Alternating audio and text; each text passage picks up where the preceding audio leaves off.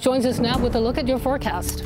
Yeah, look at a rather chilly forecast. Cold actually out there as temperatures in a lot of locations will be in the 30s. Right now, great visibility.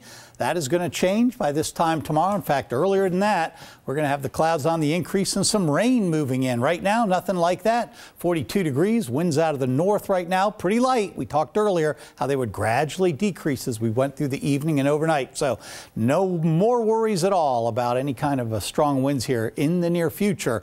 Although a few days from now, we have another nor'easter to talk about, so stay tuned. Just a minute, we'll get to that. Right now, we're expecting a low in general around 37, mainly clear skies tonight. A little bit chillier inland, a little bit milder right near the coastline. You can see some far inland areas by morning will actually be down closer to freezing, but that water temperature is well up into the 40s right now. So even though it's a light wind, it's hard to get it a whole lot colder than that.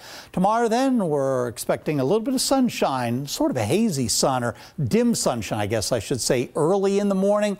And then clouds rapidly increase. And by the time we get to the afternoon, we're going to look at a few showers developing. A better chance, though, almost guaranteed we'll see some showers at some point tomorrow, af uh, late afternoon, more like evening and into the overnight. By Wednesday morning, there's the low spiraling around there, that counterclockwise circulation out over the eastern shore and heading east. So uh, we'll have a slight chance of a shower in a few areas, especially to the north.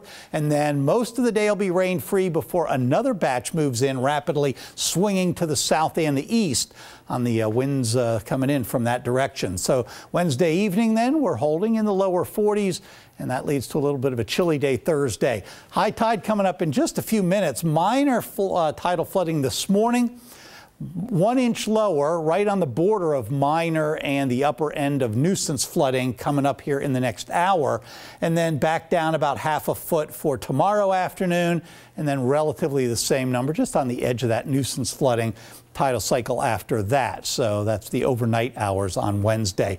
Uh, so basically what we're talking about right now, a little bit of a weak system off to the west. Tonight, mainly clear out ahead of it, 37. Tomorrow, 47. Showers likely later in the day, increase in clouds.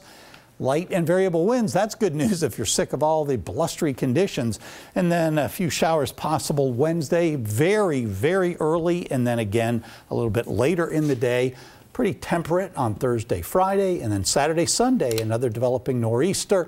Won't be as strong as the last one, but it'll get a little windy around here at times, and we'll have some showers, especially Saturday as the storm moves off Sunday, excuse me, Sunday. Then as the storm moves off Sunday night into Monday, we could have a little bit of snow. Say it snow. I know. we'll watch it. All right, thanks, Jeff.